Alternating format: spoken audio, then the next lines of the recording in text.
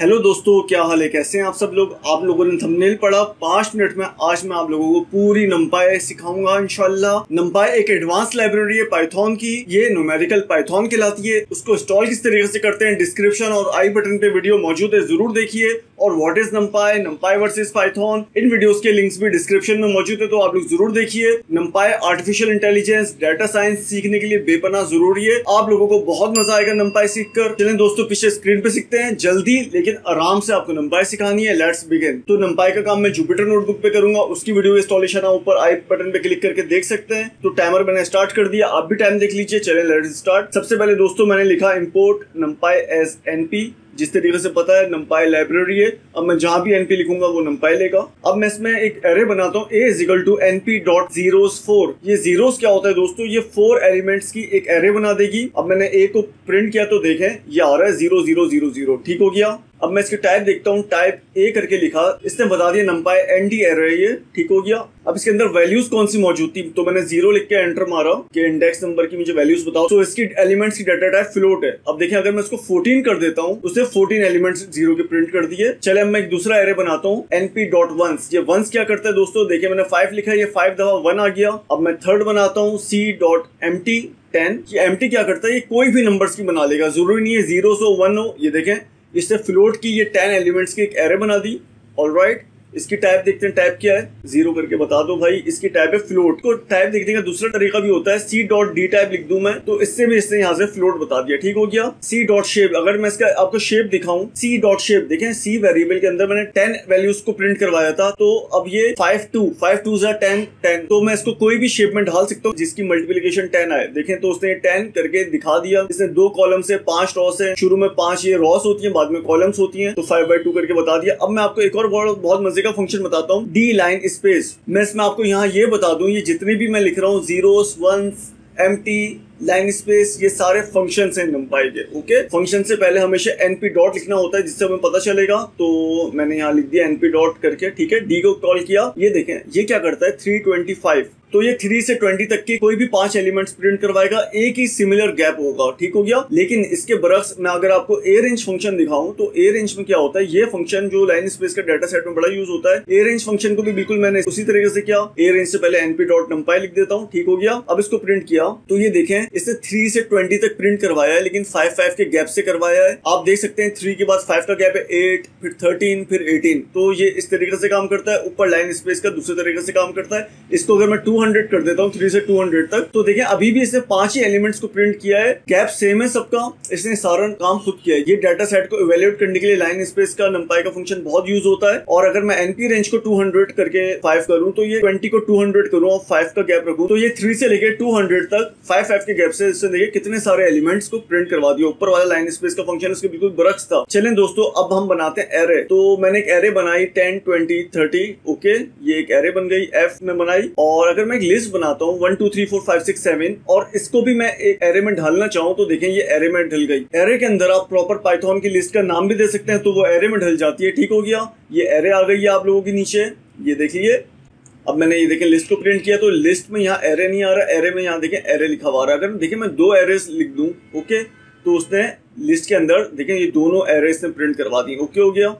ये एरे देखें एरे से पहले एरे लिखा हुआ है और लिस्ट अलग है। अगर आप मुझे इसकी शेप देखनी है तो वेरिएबल का नाम जी है जी डॉट शेप लिख के एंटर मारा तो वन टू सेवन देखिए वन रॉ है टू कॉलम्स है, एक कॉलम ये, दूसरा ये, और हर कॉलम के अंदर सात सात एलिमेंट्स हैं। तो इसने ये इस तरीके से बता दी। और जी डॉट करके अगर मैं टैप का बटन दबाऊँगा तो ये जितने भी फ़ंक्शंस है ना नंपाई के, वो यहाँ पे सारे बता देता है। ओके हो गया। अगर मैं इसमें क्वेश्चन मार्क लिख के एंटर मारता हूँ तो ये उस फ़ंक्शन की जितनी भी डॉक्यूमेंटेशन है, उसने सब बताती नंपाई की कि आप इसमें क्या क्या कर सकते हैं। अगर मैं क्वेश्चन मार्क करके जी डॉट शेप लिख दूँ तो ये उसी फ़ंक्शन से जी डॉट शेप का ही रेलिवेंट उसकी आपको डॉक्यूमेंटेशन बताएगा। तो ये बहुत ज़बरदस्त एक जुपिटर नोटबुक में कमांड है। अब मैं एक एच वेरिएबल के अंदर एक रैंडम एरे बनाता हूँ इंटीजर नंबर की। तो उसके लिए रेंट इंट की कमांड यूज़ होती है। NP dot random dot randint dot ten size इसका मैंने सिक्स कर दिया। तो उसने सिक्स नंबर की हमें इंटीजर की एरे दिखा दी। अगर मैं इसको साइज़ को टेन करता हूँ तो देखिए एरे टेन नंबर की हो गई। अगर मैं टेन रखता हूँ तो देखें, ये फाइव आ गया, एक एलिमेंट दे दिया। अब ये वन से टेन तक कुछ भी कर सकता है। दोबारा एंटर मारा सेवन हो गया।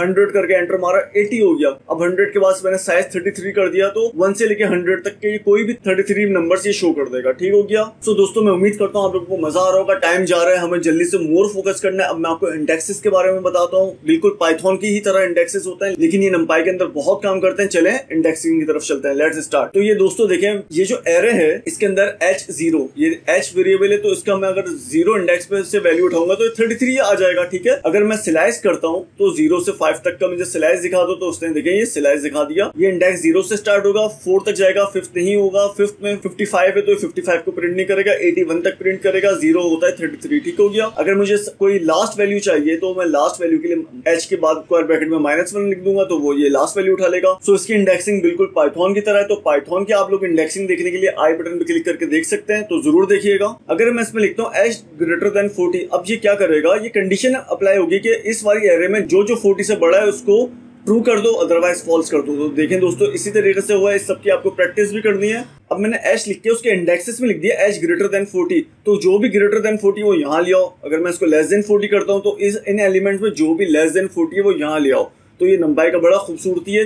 अब दोस्तों मैंने यहाँ लिखा एच मल्टीप्लाई बाई टू तो एच के हर एक एलिमेंट को मल्टीप्लाई बाई टू कर देगा। एच डिवाइड बाई टू इसने हर एक एलिमेंट के एच को डिवाइड बाई टू कर दिया। एच प्लस हंड्रेड इसी तरीके से यह हंड्रेड को ऐड कर देगा हर एलिमेंट से। एच माइनस हंड्रेड तो यह माइनस हंड्रेड कर देगा हर एलिमेंट से एरे की। तो ये देखिए कितना ज़बरदस्त है। एच मल्टीप्लाई बाई एच तो ये सारे एच को मल्टीप्लाई कर देगा। अब मैं एक पाइथॉन की लिस्ट बनाता हूँ वन टू थ्री ठीक है? ये वन टू थ्री आ गई, ये एरर नहीं है। अब मैं इसको मल्टीप्लाई बाय टू करता हूँ तो देखे इसने one two three one two three दो दफ़ा प्रिंट करवा दिया। ओके हो गया? लेकिन अगर मैं एच मल्टीप्लाई बाय टू करता हूँ एच नंपाई की एरर है तो देखें उसने सारे नंपाई की वैल्यूज़ को मल्टीप्लाई बाय टू कर दिया। सो ये फ़र्क है पाइथॉन की लिस्ट में और नंपाई की एरे में। पाइथन की लिस्ट के लिए आपको लूप्स लगाने पड़ते हैं लूप्स की ज़रूरत नहीं रहती। सो so, इसी तरीके से देखिए अगर मैं नंपाई की एरे में एच प्लस फाइव करता हूँ तो उसने हर एलिमेंट में फाइव प्लस कर दिया लेकिन अगर मैं एच टू जो कि पाइथन की लिस्ट है इसमें फाइव करता हूँ तो देखें दोस्तों ये एरर आ गया। तो ये चीज़ है और H at the rate H लिखता हूँ तो ये डॉट प्रोडक्ट आ गई। डॉट प्रोडक्ट क्या होती है? डॉट प्रोडक्ट कुछ अगर आप गूगल करें तो ये सारे उसके फॉर्मूलाज होते हैं तो ये मैथमेटिशियंस के लिए काम में आती है। लेकिन हम लोगों को इसकी ऐसे ज़रूरत नहीं पड़ेगी। जहाँ ज़रूरत होगी हम उसको इस तरीके से कर सकते हैं। सो दोस्तों this is all about NumPy in five minutes मैंने पूरी कोशिश की है, शायद आधा मिनट ज़्यादा हो गया हो, उसके लिए मैं आपसे माफ़ी चाहता हूँ। तो आपको नंपाई की सारी बेसिक्स आ गई हैं, दोस्तों। इस वीडियो को तीन चार दफ़ा देख के आप लोग उसकी प्रैक्टिस कर लें।